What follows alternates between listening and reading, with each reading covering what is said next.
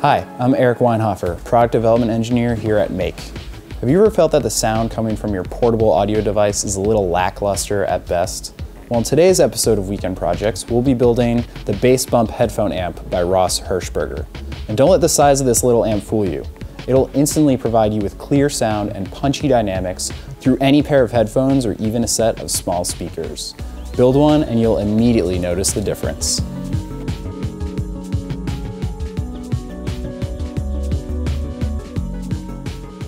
Let's take a quick look at one channel of the schematic. The audio signal enters the circuit and splits into two branches, a high and low frequency.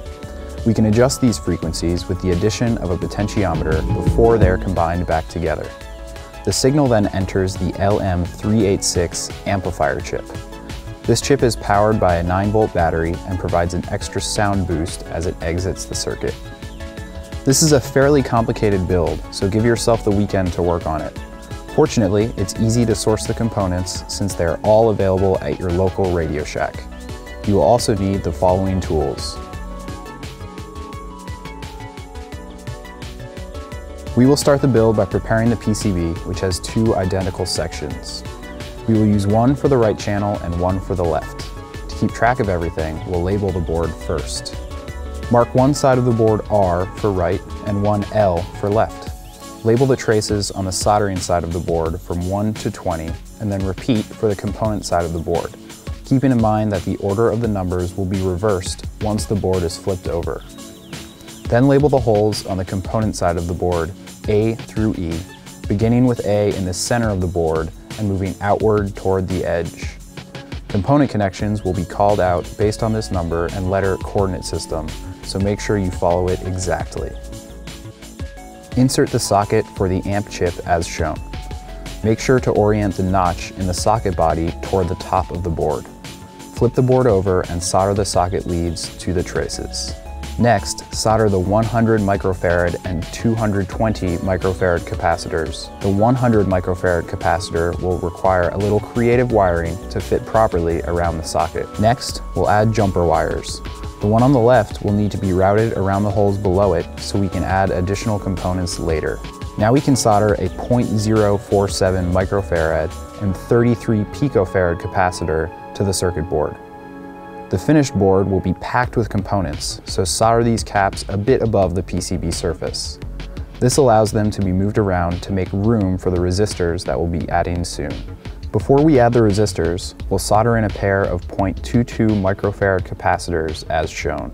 Now it's time for all the resistors. There are a total of eight resistors that you will be soldering to the circuit board.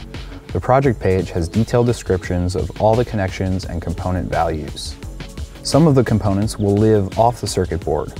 We'll need to solder 14 wires to the PCB to make all the connections necessary for the circuit. Now we need to make the input and output cables. Start by cutting a 16 inch section off each end of the headphone speaker extension cord. The plug section will be the input cable and the jack section will be the output. Save the leftover cord for making the charging cable for the battery. Next, strip the black outer casing from the cutoff end of each cable section and remove the inner foil. Trim the ground wire and twist the strands. Strip the insulation off of the tips of each of the black and red wires and twist the strands together then slip a black rubber grommet over the cut end of each cable section. Position the input cable between the two holes at the upper edge of the PCB with the red and black wires pointing toward the center of the board and secure the cable to the board with a zip tie. Solder the red and black wires of the input cable to the PCB. Each section of the PCB has a length of gray wire. Strip their free ends and solder them to the ground wire. Now you can fasten the output cable to the PCB in the same manner as the input cable. Solder the red wire of the output cable to the right channel and the black to the left channel. Each section of the PCB has a length of brown wire. Just like the gray wires, trim them to length and solder them to the output cable's ground wire. Now we can add the bass control potentiometers. You might have to cut the shafts of the potentiometers down so that the control knobs will fit nicely. Start by marking the lugs with a Sharpie to make the assembly easier, then connect them to the PCB with six of the off-board wires that we soldered in place earlier. The last step is to add the power input jack. Pass the black and red wires from the PCB through the mounting hole at the lower right hand side and solder them to the terminals of the power jack. That's it, the circuit board is ready to go. Our bass amp can run off the internal 9 volt battery, so we need to make a cable that connects that battery to the power input jack. Solder the red wire of the battery clip to the center contact of the coaxial plug, and the black wire to the outer contact. The internal 9 volt battery can be recharged from a standard 9 volt battery charger, but because it can't easily be removed from the case, we'll recharge it through the plug soldered to its battery clip. Make a charger cable by using a leftover piece of headphone cable and soldering a power jack to one end and a battery snap connector to the other. Because we'll be using two battery snaps to make this connection, we need to solder black to red and red to black on the second battery snap connector to maintain proper polarity. Now it's time to give the amp a quick test. Insert the two LM386 chips, a rechargeable 9 volt battery, and connect it to your MP3 player and headphones. You should hear the audio through the headphones and be able to increase the bass of each channel by turning the potentiometers clockwise. Now all that's left to do is install the finished circuit in the enclosure. Carefully measure and mark all the holes that need to be made. Take your time and measure twice. You can find all the specific locations mapped out on the project page. After drilling your holes, install all the components in the project enclosure.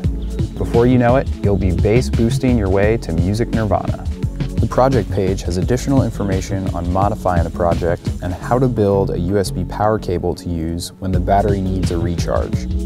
It's also a great place to share your own build of the Bass Bump headphone amp.